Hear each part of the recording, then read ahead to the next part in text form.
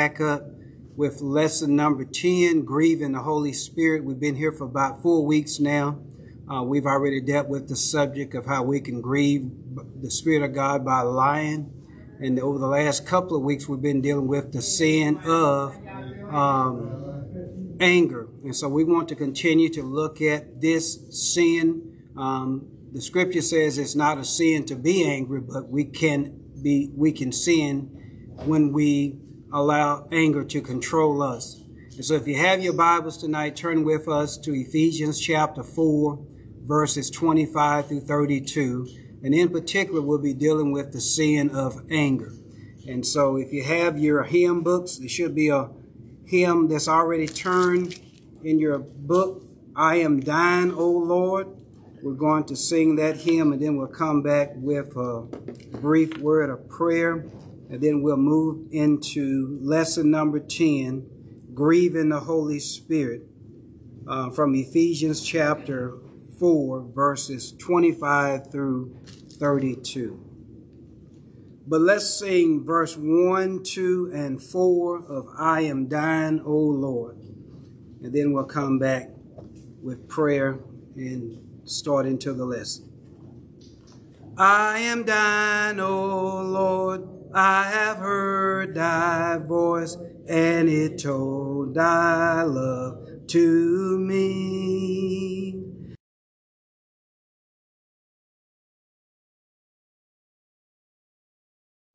And be closer drawn to thee. Verse 2 Consecrate me now to thy service, Lord by the power of grace divine. Let my soul look up with a steadfast hope, and my will be lost in thine. Verse 4 There are depths of love that I cannot know till I cross the narrow sea. There of heights of joy that I may not reach till I rest in peace with thee. Draw me nearer, near, O blessed Lord, to the cross where thou hast died. Draw me nearer, near, O blessed Lord, to thy precious bleeding side. Draw, draw me nearer, near, O blessed Lord, to the cross where thou hast died. Draw me near, near, O blessed Lord, to thy precious bleeding side.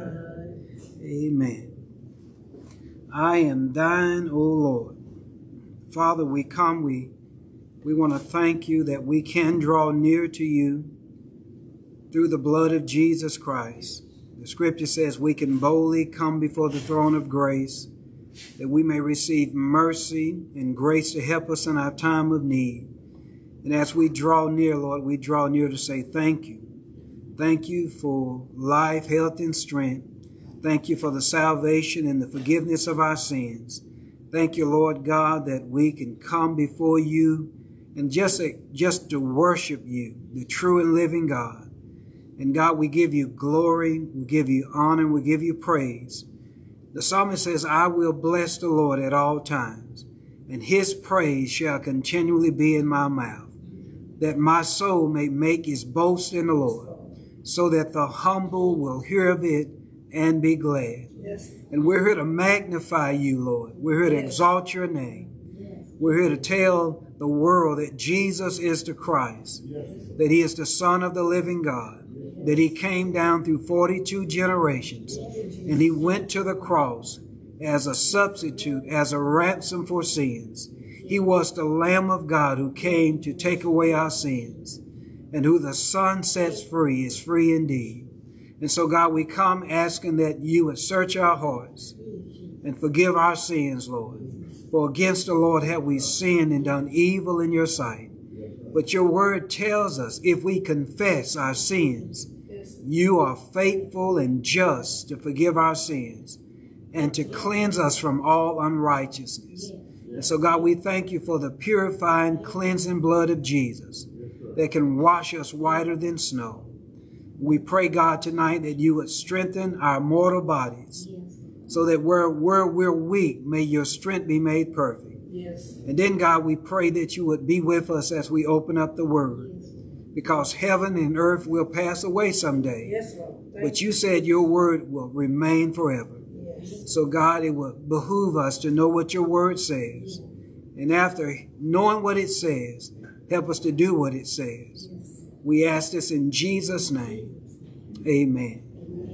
Thank y'all again, brothers and sisters, for coming out tonight as we continue to look at lesson number 10 grieving the Holy Spirit. And we've discovered that the moment we accepted Jesus Christ as our Lord and Savior, that the Spirit of God sealed us until the day of redemption, and that the Spirit of Christ lives within us. And so, therefore, uh, the Spirit uh, dwells in us. And we can grieve the Spirit, we can make the Spirit sad by the way that we live. And so, the main ideal, again, of the lesson, lesson 10, is that the Holy Spirit loves you, but grieves over your sin. And so he loves you, but he grieves. He's made to be sad when we sin against God. The question to explore is how do I grieve the Holy Spirit? And that's what we've been looking at in Ephesians chapter 4, 25 to 32. It talks about the ways that the Christian believer can grieve the Spirit of God. And then the teaching aim of this lesson is to lead adults to understand that they can avoid grieving the Holy Spirit when they are kind and compassionate to others.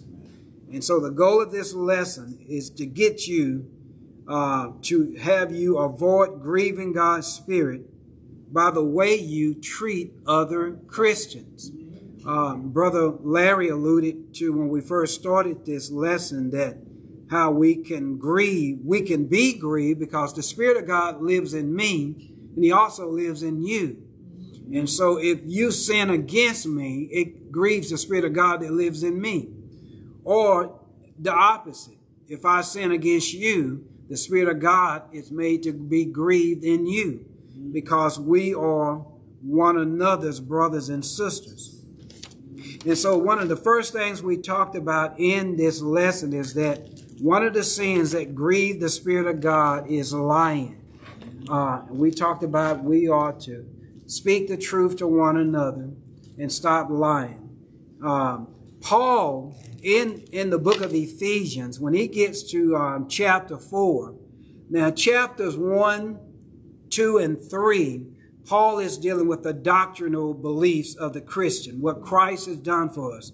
Um, and then when he gets to chapter 4, he says, now this is how you are to live out your Christian faith. This is how you are to behave as a Christian in the world. This is how you are to behave toward one another. And so this is what he says here, if you have your Bibles, Ephesians chapter 4, starting with verse 17. Paul is letting us know that we are new creations in Christ. Old things are passing away. All things are becoming new for the Christian. And so notice what he tells us in, in Ephesians chapter 4, verse 17. He says, This I say, therefore, and testify in the Lord that you should no longer walk as the rest of the Gentiles walk. When Paul uses the word walk, he's talking about life lifestyle, the way you live.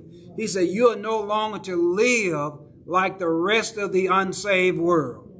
When he talks about the Gentiles, he says, now you are no longer to, to walk or to live out your life as a Christian like the rest of the Gentiles walk, who are what? Futility in their mind.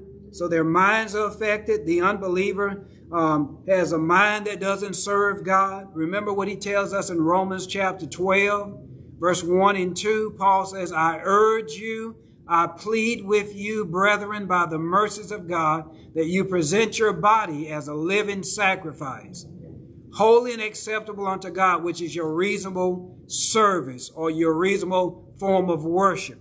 He says in verse 2 of Romans chapter 12, and do not be conformed to this world any longer, but be transformed by the renewing of your mind, so that you may know what God's will is, which is what good, perfect, and pleasing. And so Paul says the reason why the, the, the Gentile world, the unsaved world, cannot what uh, please God, cannot worship God or live for God, he said because their minds are futile having their what understanding darkened, being alienated from the life of God. In other words, the life of Christ does not live in the unbeliever. The, the life of Christ only lives in the one who has accepted Christ as their Lord and Savior. So you wonder why people who are not saved do what they do, think the way they think, talk the way they talk, because they don't have the mind of Christ. They don't have the life of Christ dwelling in them. So never expect a non-believer to act like a Christian. And, and it just and we just and it just makes us angry when we go around non-Christians and hear the way they talk. Well, you shouldn't expect nothing uh, other than they don't know God. And you want them to stop cussing. They don't know God. They don't know nothing about um, let no unwholesome word come, out of your mouth. Because that's, that's the nature of an unsaved man. He doesn't have the mind of Christ. He does not have the nature of Christ. So therefore, he only going to speak what he knows and what he's heard and what he's learned. Having their what? Understanding darkened, being alienated from the life of God because of what? The ignorance that is in them. Because of the blindness of their hearts. Ignorance in them and their hearts have been blinded by Satan. Look at verse 19. Who being past feeling have, have, have given themselves over to lewdness, to work all un uncleanness and unrighteousness. In other words, they have given themselves over to sin. He says they've given themselves over to lewdness, talking about sexual sins, adultery, fornication, um, greediness, all types of sin they've given themselves over to because their minds are dark and they don't have the what life of God in them. But notice here's the transitional statement. He says, now, this is, this is how the, the unbelieving world lives. This is how the Gentiles who don't know God live. He talks about that in what, verses 17 through what, 19. Now he contrasts you as a child of God who now knows God. Look what he says in verse 20. But you have not so learned Christ, if indeed you have heard him and have what been taught by him, as the truth is in Jesus.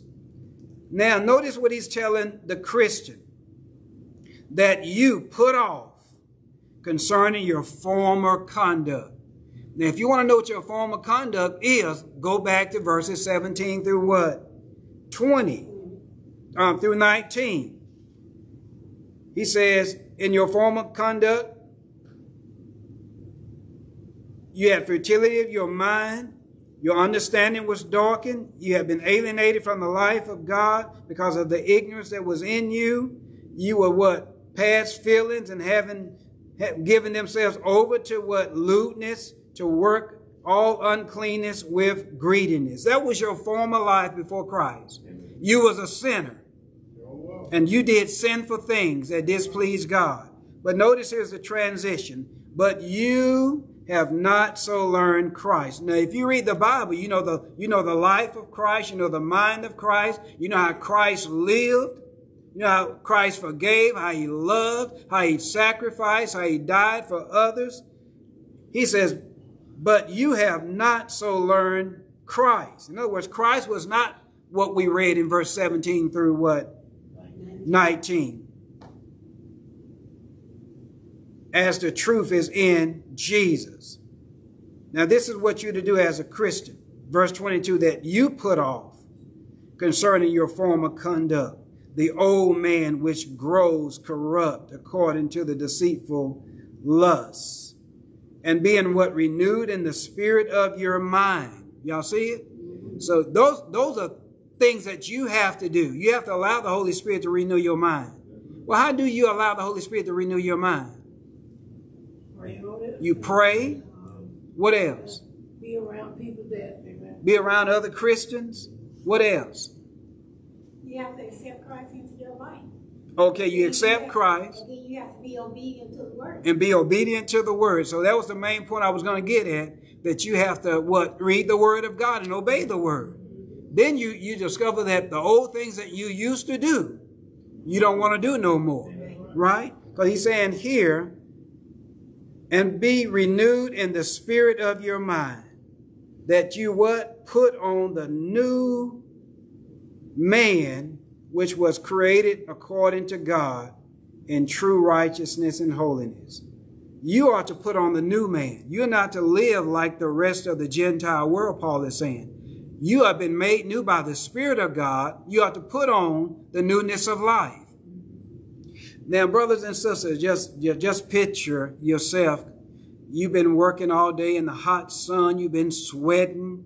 Uh, you either been cutting grass or you've been working in an environment. Now you're hot, you're sweaty, you're musty, you're stinky. And the first thing you want to do when you get home is to take off them dirty clothes, get in the shower, and get cleaned up, right? You don't want to walk all the way all around in that dirt and that filth and that stink and that must. You want to take off the old so that you can put on the new. You know, you go to the shower first, you get showered up. Now you want to put on what some clean clothes. You don't go put on the same stinking clothes you just took off. That would be what? Defeating the purpose of taking a bath.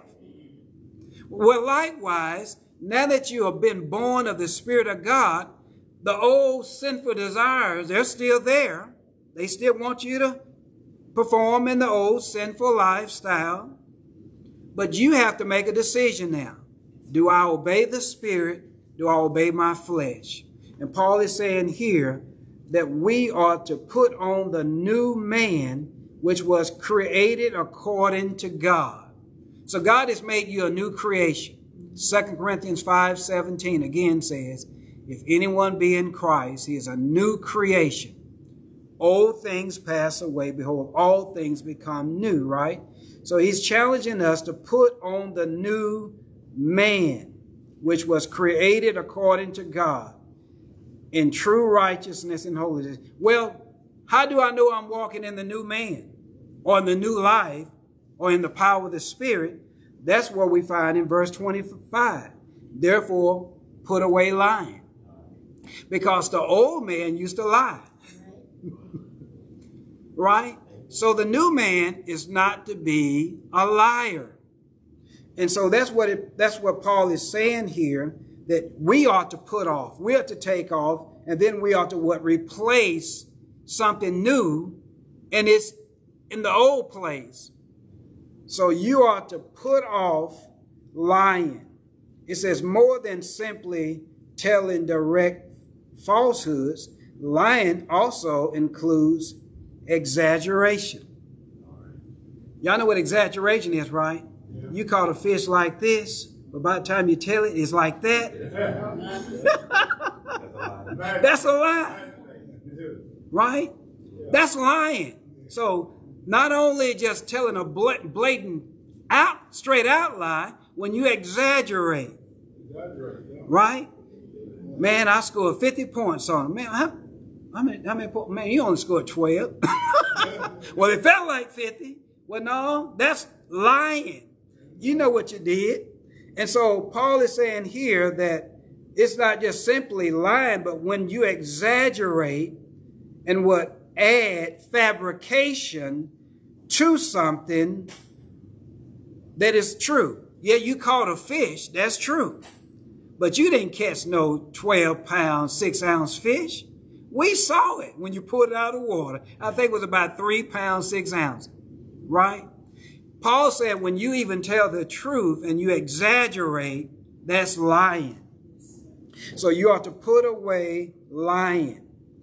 Also, he says, cheating or making foolish promises. No, you promised somebody something. You said you're going to be there. You said you're going to do something, but you don't do it. That's lying. The Bible says, let your yes be what? Yes. And your no be? No. Everything else is of the devil, right? He said, you ain't got to, you know, I swear to God, I, I promise I'll be there on my mama's grave on a stack of Bibles. you're either going to keep your word or you're not going to keep your word. Don't lie. You know, I've been having people tell me for 18 years, I'm coming to your church and hear you preach one Sunday. People have been telling me that for 18 years. Watch me. One of these days I'm going to sneak in on you. It ain't going to be no sneak in, right? You finally going to keep your word, right? I heard people say, well, I'm coming back. Well, the, the pandemic kept me away for the first four years, but I'm coming back.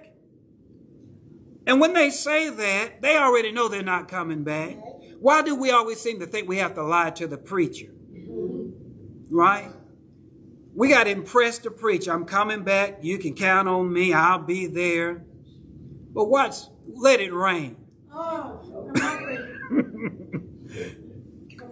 does does rain do something to Christians? Do, do y'all melt when it rain, or is do your hair go bad when it rain? Or I mean, what's what's up with Christians and rain?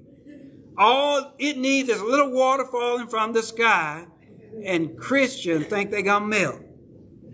And so we exaggerate. We make things bigger and larger than what we say they are. That's called lying.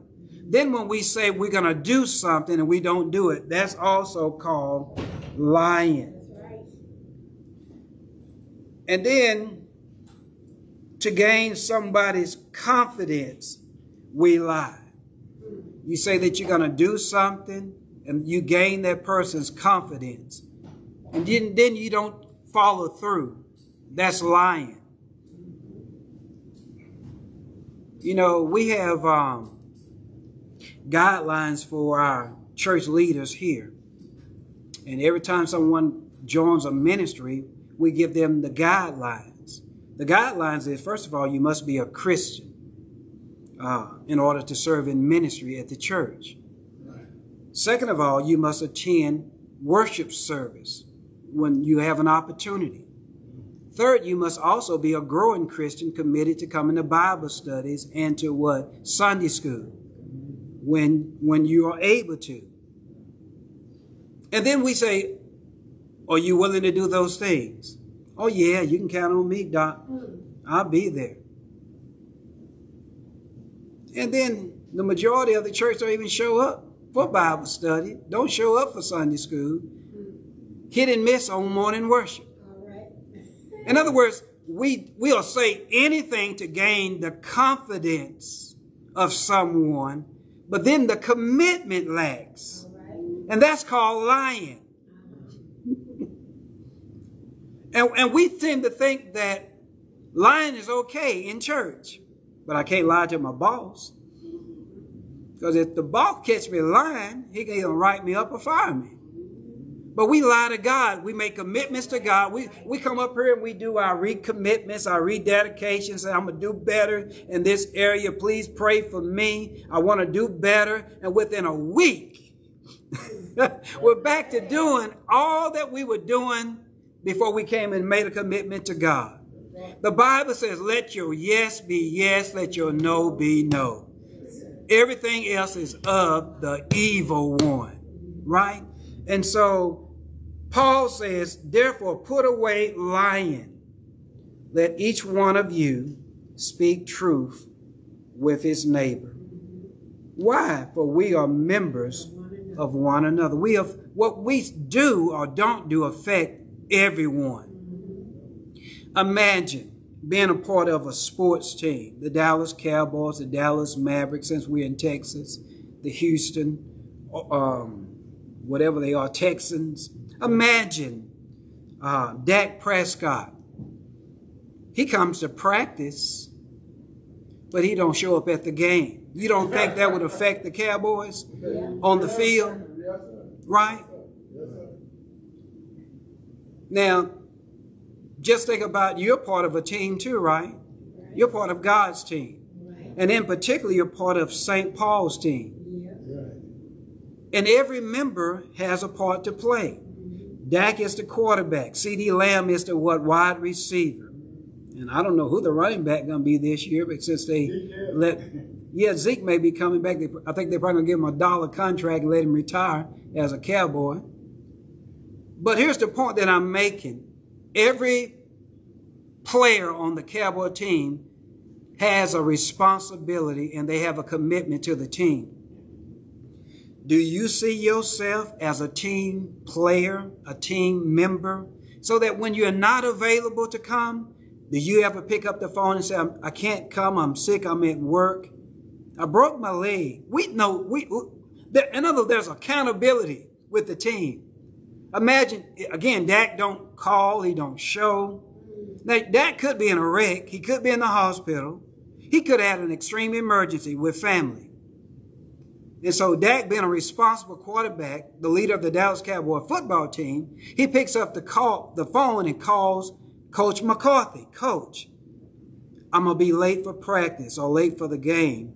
Um, I just got a phone call that my mother passed away. Uh, I, I was just in a car wreck and I'm on my way to the hospital. Okay, Dak, man, I greatly appreciate whatever we can do as your coach and as your team let us know what we can do. We'll be up there as soon as we can. Do you do you do that when you miss church on Sundays?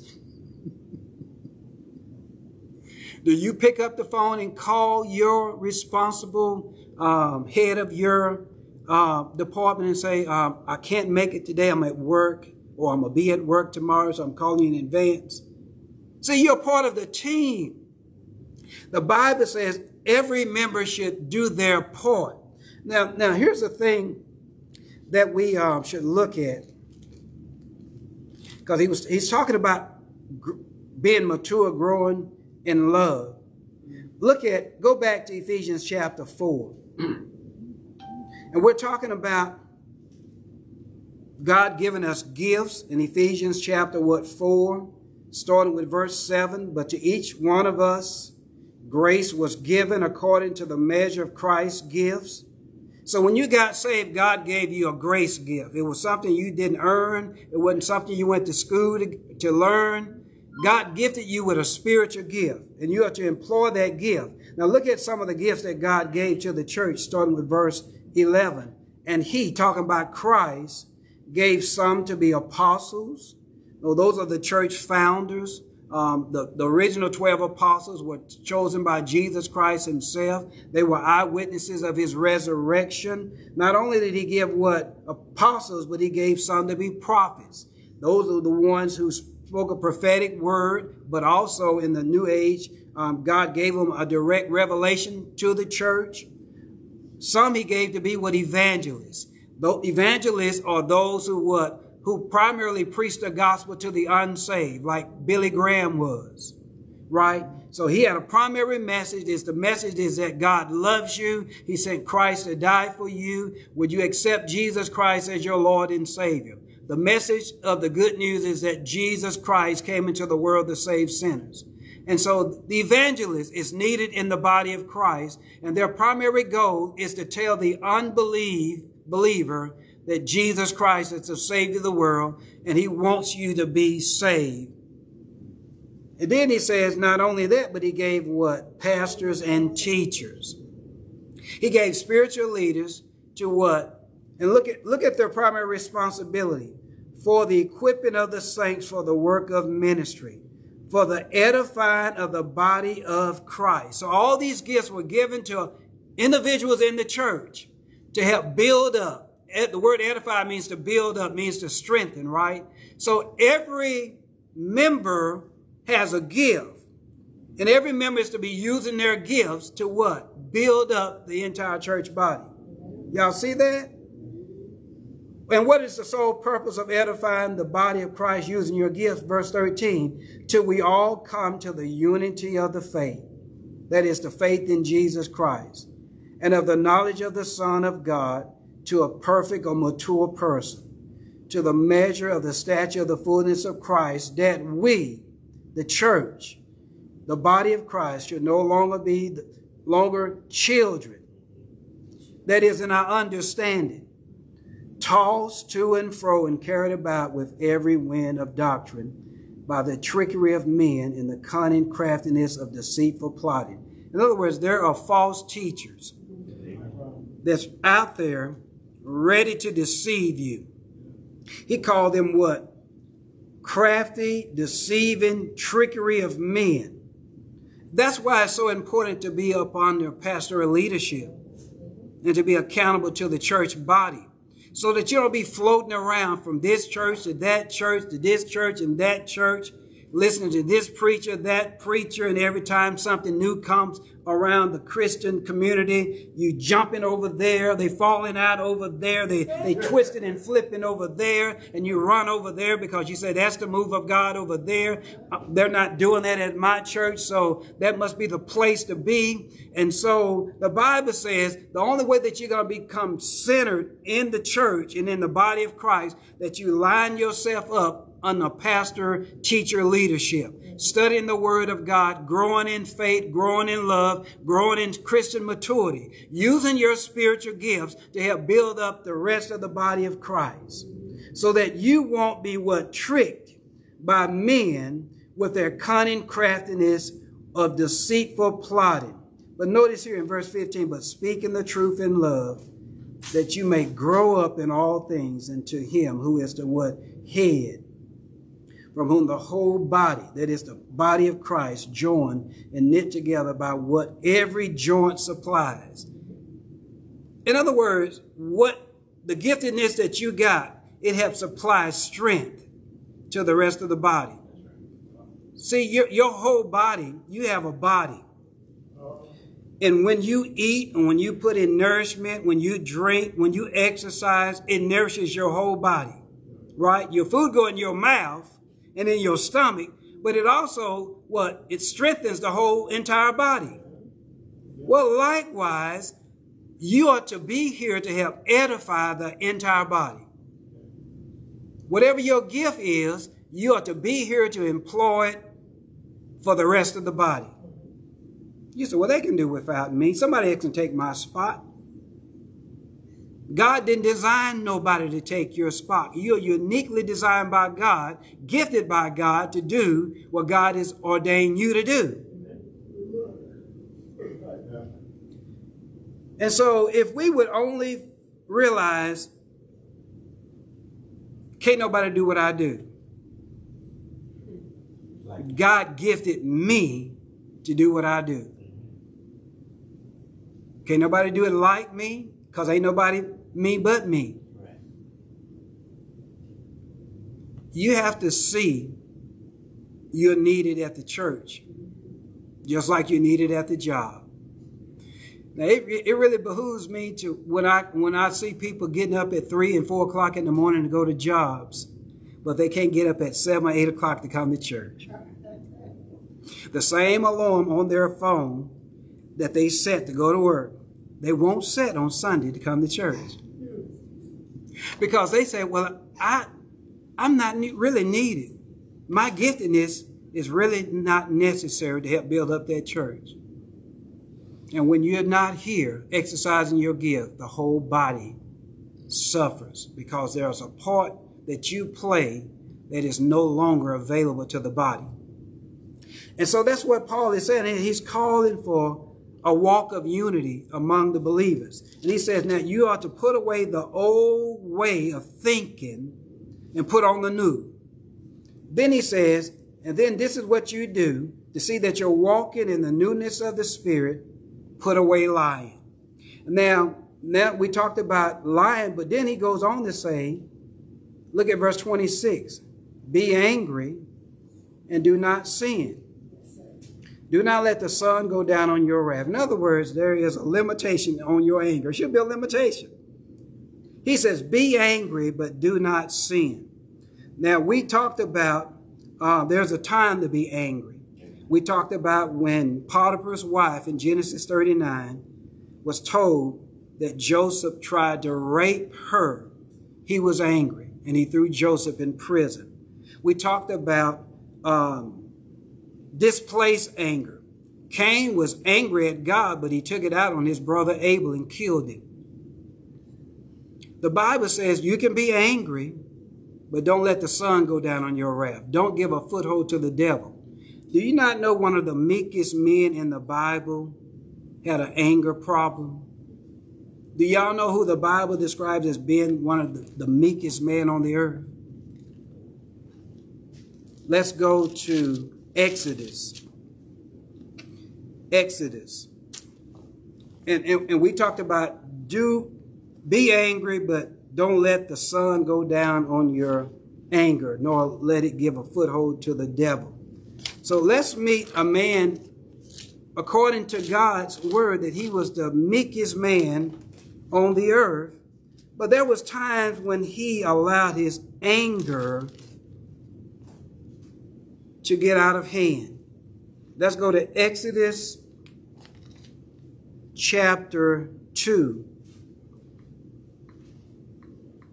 And we'll read verses 11 through 15. Exodus chapter 2, verses 11 through 15.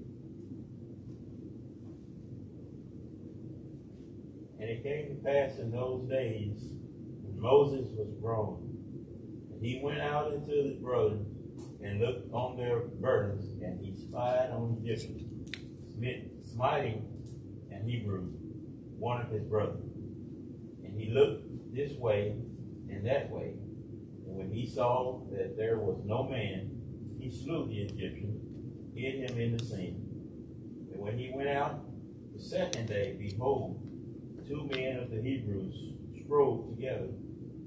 And he said to him, that did the he said to him that did the wrong, Wherefore smitest thou thy fellow? Where is the fellow that you smited And he said, Who made thee a prince and a judge over us? Intendest thou to kill me, and thou killest the Egyptian? Moses feared and said, Surely this thing is known. Now when Pharaoh heard this thing, he sought to slay Moses, but Moses fled from the face of Pharaoh and dwelt in the land of Midian, and he sat down by a well. Thank you, Brother Bobby. Now, here's a question. If you still got your Bibles open, what was the cause of Moses' anger, according to what Brother Bobby just read? What was the cause of his anger? Um, he had killed the. But what caused him to kill? Yeah, what was the cause of his actions to kill? Okay. So Moses saw the injustice of the what Israelites being what perpetrated by the Egyptians, right? Now Moses is a Hebrew by birth. but he grew up in the house of Pharaoh's daughter. She was the one who pitched him out of the lake when there was a decree by the Pharaoh to kill all male Hebrew boys. And so they put a little pitch tent together, basket together, and they tarred it with pitch, and they placed Moses along the Nile River. And while Pharaoh's daughter was out there bathing, she saw she heard a baby crying and had the servant girl to uh, fetch the little basket out and discover there was a, a baby.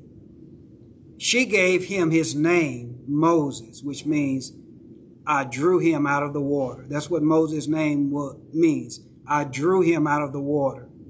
And so now Moses grows up as an Egyptian, he don't, even though he's a what? A Jew. But he, he, he grows up as a Egyptian. Now keep in mind that the Egyptians have enslaved the Hebrews, which is Moses' people. Moses is about maybe 40 years of age at this time. And he goes out into what?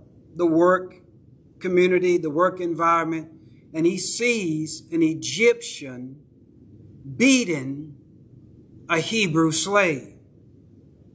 That brought about Moses' anger. He saw injustice. They, there was a time where they was making them what, especially when Moses came back, they were making what bricks without straw. But this time they were hard labor. They had been in hard labor for over 400 years. And Moses saw the injustice of how the Egyptians were treating his fellow Hebrew brethren. now, just because Moses grew up in the White House, it did not mean that he did not love his people. Y'all know how it is when some people make it big, they try to forget where they come from, right? They, they knew they from the hood, right? But they, they, they, they done got a little money in their pocket now act like they don't know where the hood is. Don't want to come back and invest in the hood or say hi to nobody. Well, Moses knew that he was from the hood and he knew his people. And he says, why are you treating my, well, I can't say they my people because I give my cover up. And the scripture says he saw this injustice day after day, and Moses got so angry that he killed somebody. Now, he had a right to be angry because of the injustice. But the Bible says, but don't let what? Anger control you. Well, Moses did not control his anger. The scripture says he looked this way, he looked that way, and one preacher said he should have looked up. He looked this way and he looked that way, saw that the cover was clear, and he killed an Egyptian and buried him in the sand. Well, the next day, Moses see two of his homies mistreating each other. He back in the hood. and he said, man, why y'all mistreating each other? That, that's a good question, ain't it? Have you ever saw how we treat each other in the hood? How we gunning each other down? because I got on red, you got on blue. This is my corner, what you doing on my turf. Why you selling dope in my hood? And we gunning each other down. Right? He said, why y'all hurting each other? And he said, man, that ain't none of your business. Who made you a prince over us? You gonna kill us like you killed that Egyptian yesterday? See, he was found out, wasn't he? And then he had to flee. See, Moses thought, the Bible, the book of Hebrews says Moses thought there was an opportunity for him, to the people to realize that God was going to use him to rescue the people, but it wasn't in God's timing. Now, 40 years later, now he's 80 years old, God said, now Moses, I've heard the cry of my people in Egypt, and I'm sending you back to tell Pharaoh to let my people go. And Moses said, what you talking about, God? Right? I'm not the man. Well, you thought you was a man 40 years ago when you tried to what? Do it all by yourself. Moses had an anger problem. Let's look at another example of Moses' anger problem. Let's go to Numbers chapter 20. Now, you may not resort to killing people when you get angry with them. Not, not so physically with what Moses did. But look at another occasion where Moses allowed his anger to get the best of him again. Numbers chapter 20, verses 1 through 13. Then the children of Israel, the whole congregation, came into the wilderness in the first month, and the people stayed in Kadesh. Yes, ma'am. Miriam. Miriam died there and was buried there. Now there was no water for the congregation, and they gathered together against Moses and Aaron. And the people continued with Moses and spoke, saying, If only we had died when our brethren died before the Lord. Why have you brought up the assembly of the Lord into this wilderness, that we and our animals should die here? And why have you made us come up out of Egypt to bring us to this evil place? It is not a place of game, grain, or feed, or vines, or pomegranate, nor is there any water to drink. So Moses and Aaron went, went from the presence of the assembly to the door of the tabernacle of meeting, and they fell on their faces, and the glory of the Lord appeared to them. Then the Lord spoke to Moses, saying, Take the rod, you and your brother Aaron, gather the congregation together. Speak into the rock before their eyes, and it will yield its water. Thus you shall bring water for them out of the rock, and give drink to the congregation and their animals. So Moses took the rod from before the Lord, as he commanded him. And Moses and Aaron gathered the assembly together before the rock, and he said to them, Hear now, you rebels, must, must we bring water for you out of this rock? Then Moses lifted his hand and struck the rock twice with his rod, and water came out abundantly, and the congregation and their animals drank. Then the Lord spoke to Moses and Aaron, Because you did not believe me to hallow me in the eyes of the children of Israel, therefore you shall not bring this assembly land which I have given them. This was the water of Meribah. Meribah, because the children of Israel contended with the Lord, and he was hallowed among them. Thank you, sis. So here's another situation in the life of Moses. Now, keep in mind that Moses is the pastor of a mega church, as we would say. He has millions of people that God has allowed him to lead out of Egyptian slavery. They had been there for 400 years, generation after generation, and they're on their way to the promised land. But they get to points in their journey to where they, they lack uh, the daily necessity of food and drink, right? the scripture says here they come to um, the wilderness of Zin in the first month. So they've been in the wilderness for, for a month now. They've been free for a month now. They don't know what freedom is like because they've been slaves all their lives. They finally get some freedom. And the people stayed in Kadesh. And Miriam died there and was buried there. Now, who is Miriam? Y'all know who Miriam is?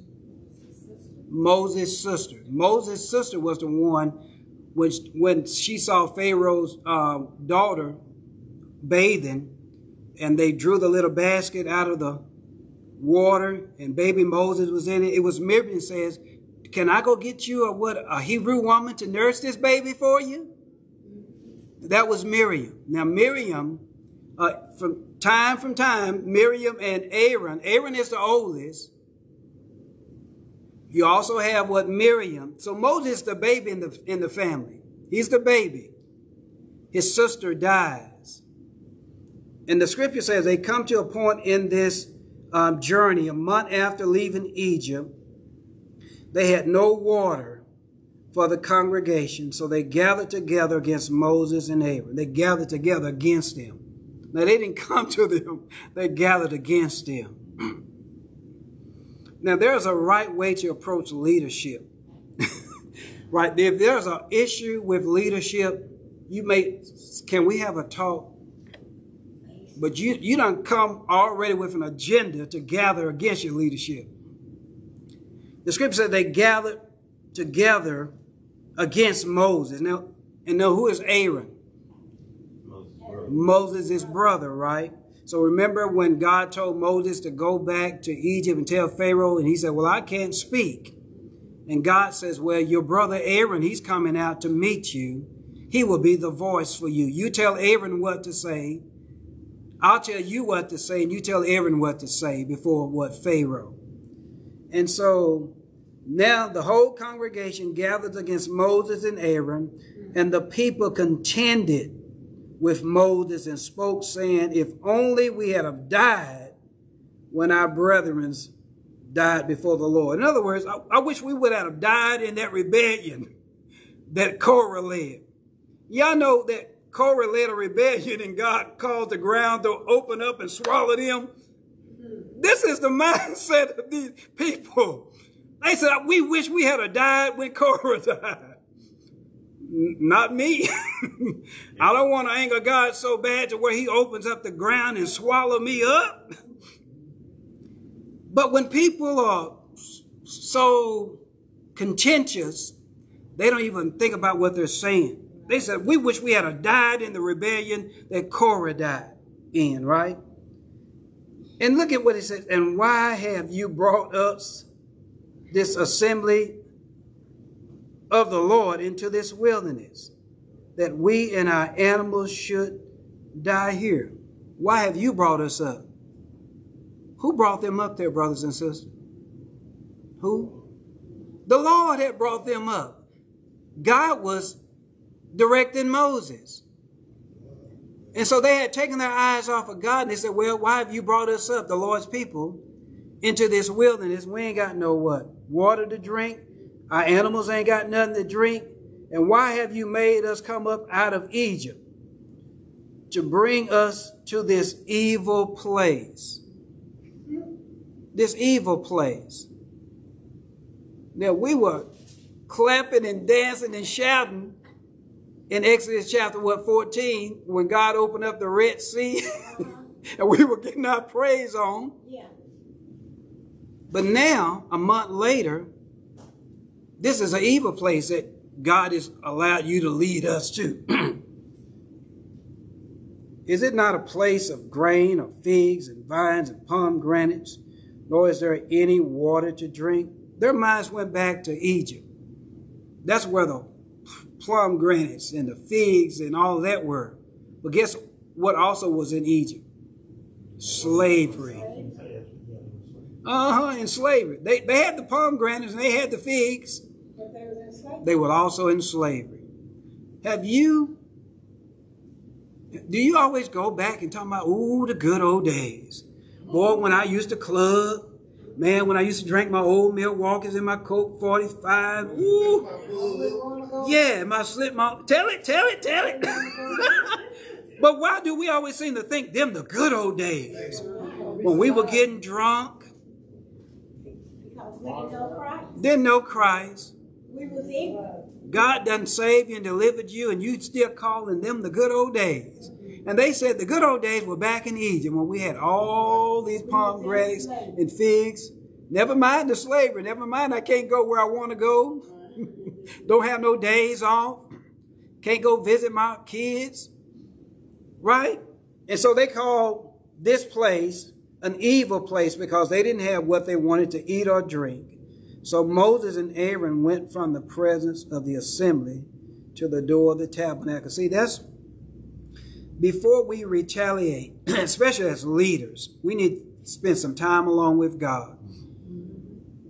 So God, you, you, you see the fickle that we're in. These folks are blaming me for where you've led them. Y'all know that God will test you every now and then, right? Because this was nothing but a test. God was testing to see if they would trust him. But instead of allowing the test to have his perfect work so they would be mature and lacking nothing, they took it out on the leadership. Right. And said, you brought us out here, a place of no water, no food to drink. But the leadership fell on their faces before God. And then God gave them a plan. Then God spoke to Moses, saying, Take the rod, you and your brother Aaron, gather the congregation together, speak to the rock before their eyes, and it will yield its water. Now keep in mind, they're in a barren place with no water. God says, I'm going to point out a rock to you, and I'm going to perform a miracle in the desert by you speaking to a rock. Right? But y'all know sometimes the burden of leadership is so heavy that we forget what God tells us to do and we take it out on y'all. God said, Speak to the rock, raise the rod, and speak to the rock, and I'm going to work a miracle. I'm going to bring water from a rock. And Moses and Aaron left the presence of God, and they gathered the whole congregation together. Now, notice his tone changes. He's angry now, right?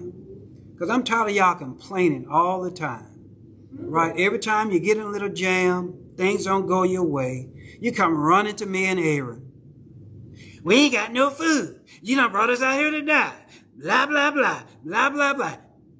And Moses, y'all are just getting on my last. And he called them rebels. You rebels. And he didn't say it nicely. I'm probably, I'm probably sure he said it like that. Because he's talking to multi-millions of people. And they had to hear him. You rebels.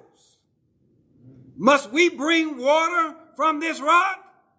And he, in anger, he struck the rock. But God wanted to get some glory from that situation. And God didn't get no glory, right? Right. And, and when we lose, when we don't do what God says the way God says it, God doesn't get glory. Right. Now it gets done. God still gave them water, but God didn't get any glory. Have you ever been in a service to where it becomes about you and not about God? It, whether it may be in your teaching or in your preaching or in your singing, right?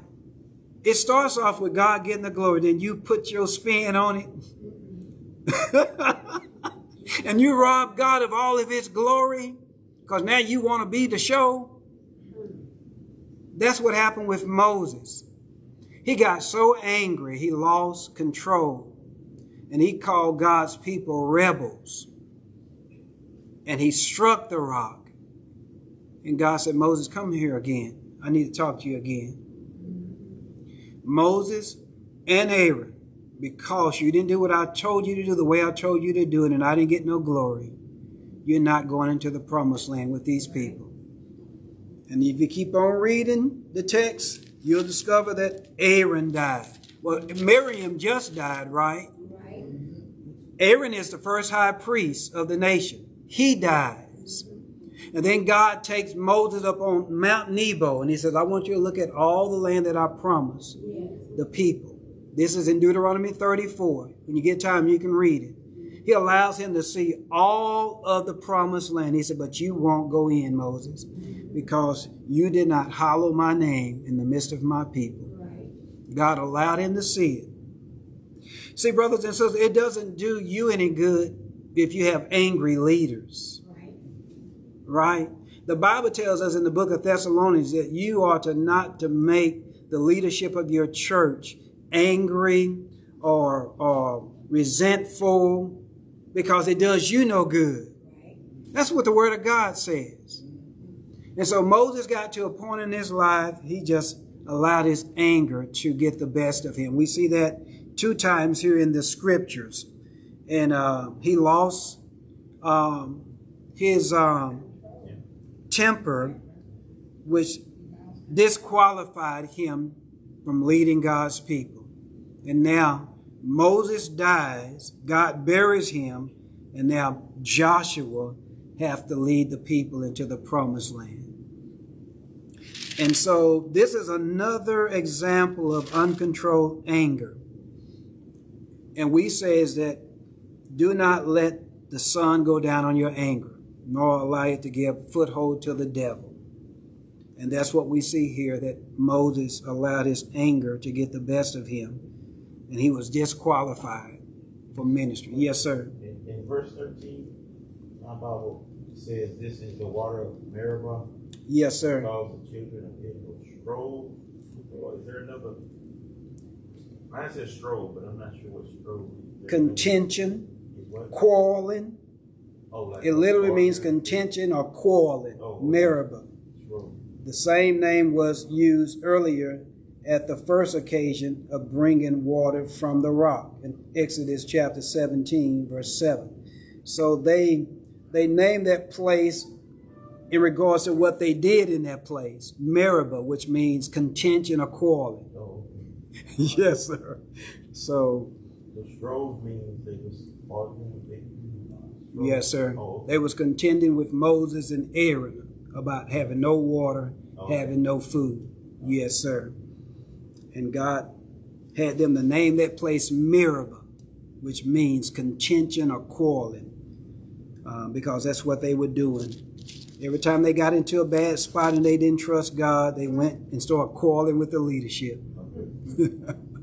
we want to thank you tonight for coming out uh, for this on Tuesday night Bible study. We will continue to uh, pick back up with Ephesians chapter 4, uh, moving with verse 26 all the way to verse 32. Lord's will on next Tuesday, we'll pick back up with this lesson. We want to invite you to come and join us. This coming Sunday is Father's Day. Uh, we invite all men to come and worship with us on that day. Uh, Sunday school starts at 10 o'clock. Morning worship starts at 11. Until that time, may the Lord richly bless you and keep you as I pray.